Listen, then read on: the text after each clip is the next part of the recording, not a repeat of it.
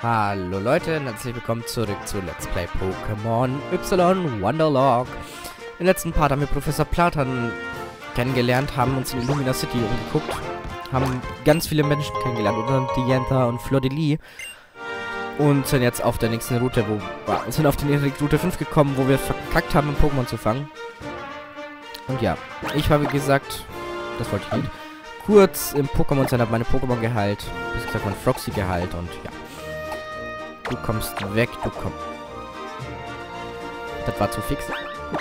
War die bisschen zu fix unterwegs. Du kommst vor.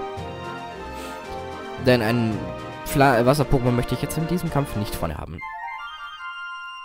Wir verstehen uns blind auch ohne Worte. Wir wissen immer, was im Kopf der andere...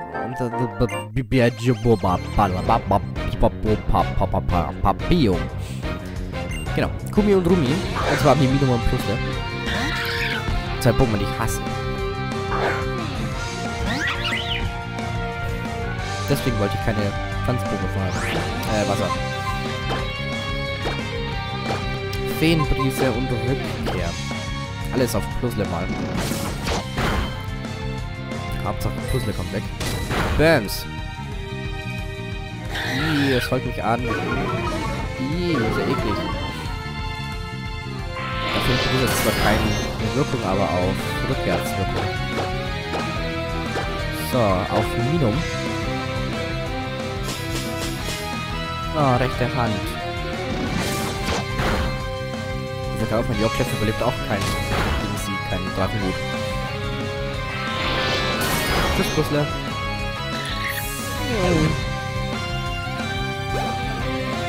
Yay, Level 15 für Flappebe. Razor Leaf. Ähm, 45. Du hast 55. Volltreffer Chance. Machen wir mal weg. weg. Meine Beschwörung brauche ich eigentlich auch nicht. Mag ich nicht, aber... Level 15 für mein Joklev. Und Body Check. Jetzt war eine gute Step-Attacke, aber nein, du tötest dich damit nur halb selbst. Habe ich keinen Bock. Razor Leaf und weiterhin Rückkehr. Das ist One Crit. Dönerwelle. Wie? Ich hoffe, ich habe einen Paderheiler. Ich will nämlich nicht wieder zurücklaufen. Töte es. Tschüss, Minum.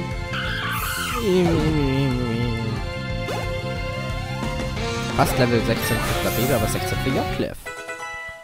Clef, Clef, ja, Clef, Clef. Fast Level 17 für Joklev. Wow. Nanu? Oh ja, ja, entwickelt sich. Besser gesagt, Joklev entwickelt sich.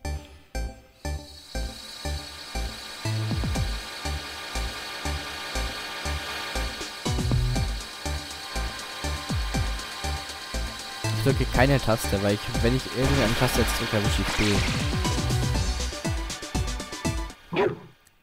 Bumm. Glückwunsch, deine Junge wurde zu einem Teddybar. Ah, ein sehr cooles Pokémon. Muss ich schon zugeben. So. Gucken wir jetzt mal deine Werte an. 32 Angriff, 31 Initiative. Und hast Bedroher erhalten. So. Terrybug, du bist Level 16, du kommst ganz nach unten. Du bist 15, du kommst dahin. Und jetzt gucken wir mal, ob wir nicht einen Paraheiler für dich haben. Haben wir sogar. Gut gemacht, Flabebe. Erster Kampf erfolgreich überstanden. Ähm, wie lange nehme ich auf? Vier Minuten erst, okay. Ja, ich muss das ein Item. Einmal durchs Vollgras, yay. Einmal durch Pokémon über Pokémon. Wuff, wuff. Hoffentlich kann Anton fliegen. F fliehen, nicht fliegen. Wow, hoffentlich kann Anton fliegen. Auf die Fresse auf jeden Fall, aber ob so fliegen kann, weiß ich nicht. Wow. Oh ne, jetzt kommt auch noch Massenkampf. Äh. Fünffachkampf. Mit Schluppoker. Willi nett, ich habe keine Attacken, die euch alle treffen. Wenn ich Surfer habe, komme ich gerne wieder. Dann fege ich euch alle auf einmal weg, aber jetzt noch nicht. Nee, danke, tut mir leid. So. Ein Superball ist ein Super Pokéball, ne? Nur so zur Information. Äh, noch ein Gruppenkampf. Ih, ich will nicht mehr. Just stop it. Yay, noch ein Gruppenkampf mit Schluppo. Kann ich was anderes kommen? Was Schöneres? Ein, keine Ahnung, mit Flabebe. Wäre viel cooler. Wäre voll cooler die Villa. Ne, oh Gott, da kommt noch mehr Gras. Lass mich einfach raus hier. Bitte, bitte, bitte, bitte, bitte. Ich will nicht weg von hier. Äh, ein Skoppel. Ist ja Skoppel, hey. Wolke 7. Tschüss. Ikowski ist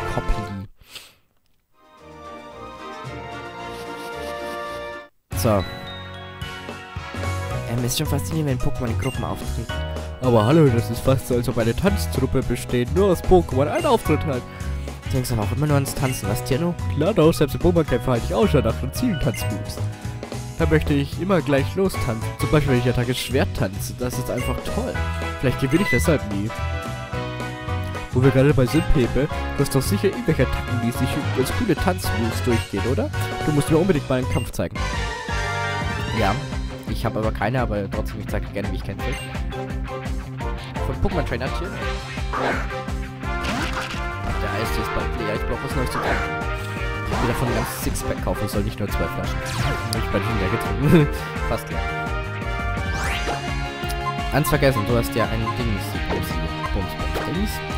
Dann darf wohl mal Bibor ran.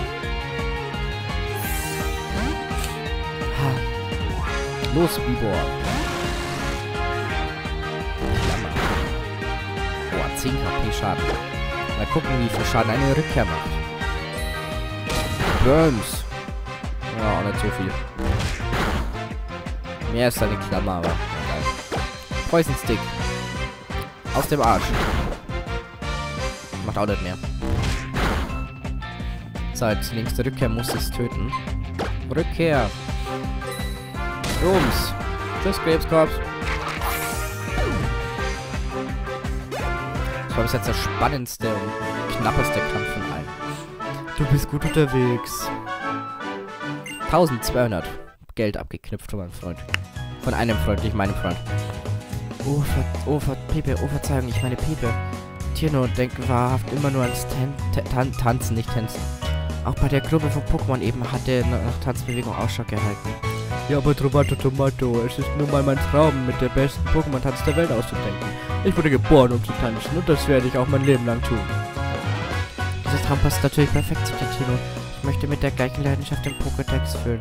Es ist gut, ernsthaft ein Ziel zu verfolgen. Ähm, ich habe hier etwas Honig für dich, Pepe. Pepe hält Honige. Äh, wie es scheint, kann man mit Hilfe von Honig mehr Pokémon-Massenbegegnungen hervorrufen. Dementsprechend wäre es natürlich von Vorteil, wenn man auch noch über Attacken verfügt würde, mit denen man mehrere Pokémon auf einmal angreifen kann. Das ist sehr cool von dir, Trovato Tomato. Nein, den nächsten Kampf bestreite ich mit Terry Bark, weil es sonst wahrscheinlich ein Blutbad wird. Gotcha, gotcha. Ich bin zu blöd, A zu drücken. Ich habe es kaum, ich habe kaum geschlafen. Ich bin total müde. Ob dieser Kampf wohl eine gute Idee ist? Ich hoffe es, dass es eine gute Idee für mich ist, diesen Kampf zu bestreiten. Tobias. Kadabra. Auf Level 14. 13. Entschuldigung, ich habe es extrem übertrieben für einen Anfang. Bis. Bin schneller. Töte es. Danke. Das ist eine, eine sehr gefährliche Nuzlocke-Stelle. Hier am Anfang gleich. So relativ früh ein Kadabra. Haut ganz schön rein. So, ich muss den Teddybug mal langsam langsam tun. Wir schon Level 17. Die anderen sind noch Level 13 oder 14. Muss ich ein bisschen aufpassen. Dass mir Teddybug nicht weglevelt. Komm, Psyduck wieder nach vorne. Hier ist ein Item versteckt. Ein Supertrank ist ein Supertrank. Dann einmal das Railway runter. Findet das Item Supertrank. Jetzt habe ich zwei Supertränke. So, hier ist der Skaterplatz. Sind wir schon durchgelaufen. Will ich auch gar nicht mehr hin, denn ich will noch mal ins Pokémon Center zurück. Meine Pokémon heilen. Ich nehme schon wieder seit 10 Minuten auf, hey. Wie die Zeit verfliegt, ne? Hm. Gefühlt habe ich vor zwei Minuten erst angefangen. Das sind schon 10 Minuten, ey. Naja. Kurz Pokémon heilen und dann kann es schon weitergehen. Auf der Route. Denn auf der Route... Die Route ist noch ein gutes Stück lang. Bis zur nächsten Ortschaft. Oder? Ja, ein bisschen noch was. Ein bisschen kommt noch. Ja, hallo Pikachu. Ab da rein in den Tunnel. Und weiter geht's. So, jetzt muss ich erstmal den ganzen Weg wieder laufen. Muss wieder alles aufholen. Zurückgelaufen bin. So. Hier einmal durchsneaken. Hier einmal an Tobias vorbei. Hier einmal den Berg hoch. Railway. Uh. Und hallo Singelbeere. Ja, da war nichts. So, dann machen wir diese fünf Felder. Das sind sechs, okay, egal. So, wieder hoch. Und kämpfen. Ich habe zwar bisher noch nicht geschafft, meine Tricks auf mein Team abzustimmen, aber für dich wird es schon reichen. Ich glaube, für mich reicht es gar nicht und ich will jetzt in den Los. Ich habe einen von Erdnüsse gekauft ich will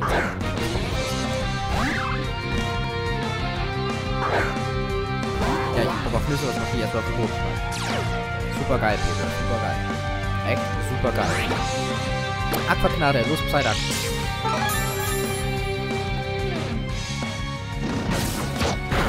Voll gut, deswegen wir die Nüsse mitnehmen, ne? Hm, geil. Loch, nochmal Aqua... Los, nochmal Aquaknarre. Tschüss. 143 Mann und ein Mädchen. Pflanzen-Pokémon. Dafür ist doch Biber gut. Meg ist auch ein cooles Pokémon. Extrem stark. Von die nächste Weiterentwicklung des Chefs. Super geil. Giftstachel. Bam. Step, Step, Stich noch drauf. Macht ganz gut viel Schaden, muss man sagen. Das Mädel. Psyduck Level 15, gut. Konfusion, nein, endlich. Tschüss, Nassmacher. Ich meine, es hat auch nicht die beste Attacke, aber es ist besser. Nachdem ich mehr viel Spezialangriff habe als physischen Angriff.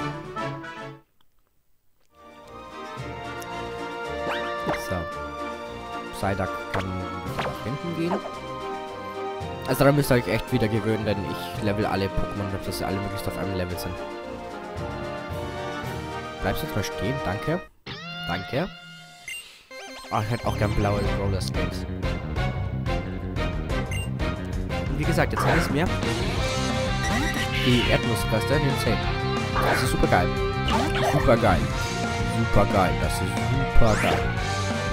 Aquavelle. Das letzte Dodo hat mich fast fertig gemacht. Mal gucken, wie es diesem ausgeht.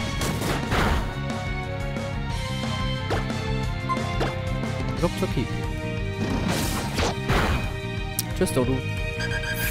Sieht nicht so gut für dich aus. Yay, Level 15 für äh, Froxy.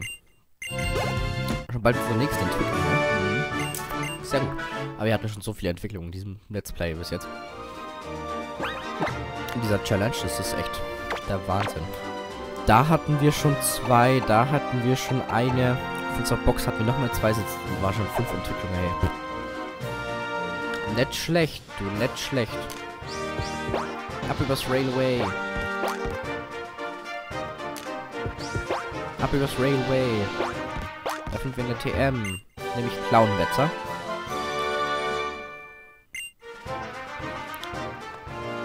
Sehr cool. So. Wir sind Pokémon stets dabei hat, kann sich mit dem Trainer auf der ganzen Welt messen und auch Pokémon tauschen. Ich weiß, ich kann mich auch mit Trainern messen, aber werde ich nicht, denn ich hab, bin nicht so gut im Trainer messen. Moment meinem Pokémon. Ich muss sagen, ich habe trotz dass es eine äh, eigentlich random Challenge ist, was ich habe, habe ich relativ äh, anfangs Pokémon, ich sagen. Also jetzt kein Kindwurm, was schon Drachenhut kann, etc. So. Doch Pokémon, die für den Anfang gut sind, aber halt nicht overpowered sind. Wow.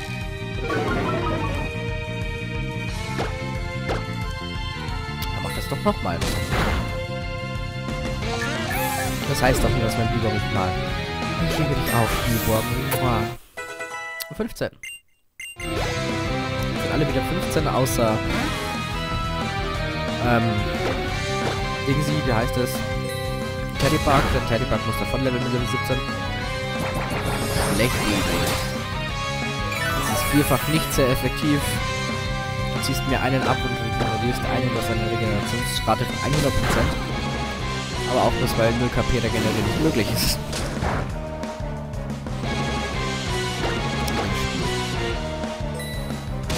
Cool Absorber regenerierst 0 KP einfach weil du nur ein nur 20% der KP oder 15% der KP, die du abziehst, regenerierst. Nach 5 nach fünf Attacken kriegst du ein KP regeneriert. Oh Gott, erstes Grasfeld betreten und schon Pokémon. Aber ein Vehicle, das ist gut. I love you, Vehicle, but I have to flee now for you. From you, had to run away.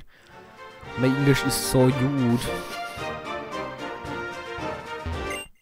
X-Angriff. Wäre cool für meinen Biber, so ein One-Way-Item, also einmal einsetzen. Ja, ein dauerhafter Angriffsboost wäre cooler. Also ein Protein beispielsweise. Komm her mit deinem Visor. Das weiß ich noch, du hast einen Visor. Ein Visor-Caster, haha. Haha, ha. Haha, ha. In der Hand. Rückkehr. Ich kehre zurück. One-Hit. Ein bisschen OP, will ich mal sagen, ne? Jetzt noch ein Ding dazu, ein Kingstein, da mache ich auch noch immer Crits. Äh, lass flinchen, das, ja, hm. So, okay, erstmal vorbei, ich will dann gar nicht hier runter, dann ist nämlich, muss ich nicht durchs Gras laufen. Im Hohenkraft trage ich immer Sword, dann gibt das Glas an meinen Peinen. Hallo Maximilian mit Vegi Magi. Den Weg Magi. Magi. Hä? Vegi Magi. Das ist vegetarische Magie. Giftstachel, Poison Stick. Sehr effektiv. Stab und Giftstich. Ja. Ich würde sonst zu trinken holen. Ich habe nichts mehr hier. Ich habe noch ganz viele leere Flaschen. Ich mal alle wieder wegbringen. Level 16 für Bibor. Duonadel. Eine Käfer-Step-Attacke. Tschüss, Fadenschuss. Meine erste richtige Step-Attacke. Meine erste gute Step, ja, gute Step-Attacke, in Anführungszeichen gut. Sie isn't schlecht, aber sie ist auch nicht so. Ähm, Duonadel, 25 Stärke. Stachel an der Vorderbein treffen das Ziel zweimal. Ziel wird eventuell vergiftet. Also hast halt immer Step mit dazu, das heißt 25, die Hälfte davon sind 12 dazu, sind 37. Hast einen Angriff von 44, 74. Durch Step halt. Ja, ist schon ganz in Ordnung, muss man sagen. So auch noch vorne. Den B-Boy ist Level 16 und das zweitstärkste mit auf die Ersatzbank. Hier brauche ich den Zerschneider, den kriege ich erst noch. Holo-Nachricht erhalten. Vielen Dank, dass du dich für diesen Hololog entschieden hast. Der Hololog wurde im Labor von Flottili entwickelt, um den Alltag der Trainer zu erleichtern und zu bereichern. Wir hoffen, dass du mit dem Gerät zufrieden bist. Blablabla. Bla, bla, bla, so. Da ist nichts dran in dem Haus. In dem Haus kriege ich aber was. Von der Dame da oben ein Herzkonfekt. Sehr gut. Muss man sagen, ist schon ein gutes Item. So, und von dir Gefühl, Typ Drache habe ich leider nicht. Tut mir leid. Wenn du ihm einen, den, den Typ zeigst, was er will, also dementsprechend Typ Drachen, kannst du dir eine Beere aussuchen. Und zwar, ich glaube, eine der sechs wichtigen Bären, also Verwirrung, Paralyse, Vergiftung, Verbrennung und Schlaf. Plus die, wo alles macht. Kannst du da eine aussuchen. Per 7. Ne, die Sternstücke halten. Geil. Geld. Ei hält Kohle. Eier hält Kohle. Eier erhalten Kohle. Was? So. Dann ab ins Pokémon Center. Hier ist auch der Namensbewerter. Falls man seine Spitznamen ändern will. Falls es jemand noch nicht wusste. Das ist nämlich der freundliche Guy dort rechts. Der da. Der bewertet seine Spitznamen und gibt den Pokémon neue Namen. Habe ich noch, da ja, kann ich mir nicht leisten, schade. Pokéball habe ich noch 20, da habe ich, könnte ich mir mal 10 kaufen. Gut. Komm bald wieder, mache ich doch glatt. Einmal kurz nochmal durchsortieren alles.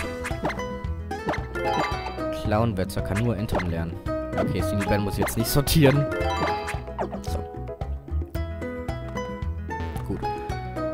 Dann machen wir noch einen kurzen Dialog und dann beenden wir den Part. Da habe ich nämlich auch ein bisschen Story mit dem Part gebracht. Gehen in das Castle. Wie heißt es nochmal? Ich weiß nicht. Chateau Tristesse. Hallo Pepe. Seid ihr Seht an, ihr kennt euch. Zwei Besucher im Chateau Tristesse. Das ist selten. So viel war ja schon lange nicht mehr los. Dieses Schloss, oder besser gesagt, Chateau, war früher das Anwesen einer adligen Familie. Es ist vielleicht ein wenig runtergekommen, aber liegt, liegt an einer langen Geschichte. Im Laufe dieser langen Geschichte bezieht der Schlossherr die meisten... haben die Be Schlossherren die meisten ihrer Besitztümer an die Leute verschenkt. Deswegen ist hier drin so leer. So viel dazu. Was denn das war's? Gibt's hier nicht mehr, das mit der Mega-Entwicklung zusammenhängt? Nein, das ist alles. Ende der Geschichte. Was bitte ist die Mega-Entwicklung? Mein Herr, es ist wieder da. Ach, es ist wieder soweit. Nicht, dass es euch... Nicht, dass ich irgendetwas dagegen tun könnte. Ich muss jetzt los auf Route 7, aber lasst euch ruhig Zeit, dann seht euch hier etwas Ruhe um. Worum geht das da wohl? Wollen wir nicht auch auf Route 7 gehen? Ja, gleich, meine Liebe. Aber jetzt hole ich mir noch ein Etem ab. Ein Etem. Das liegt da oben. Hier liegt später übrigens auch der mega Flunkkiefer. Nee, glaube ich, war's. I think so. Fluchtseile halten. Oder oben in dem Raum, wo es jetzt im Moment nichts gibt. Hier liegt auf jeden Fall ein Megastein fertig. Das weiß ich noch, aber es ist erst Postgame. So weit sind wir noch lange nicht. Ha, ich würde sagen, ich bleib hier stehen vor dem schönen Haus. Beende den Part, danke fürs Zugucken und ich sage dann Tschüssle, bis morgen, Leute.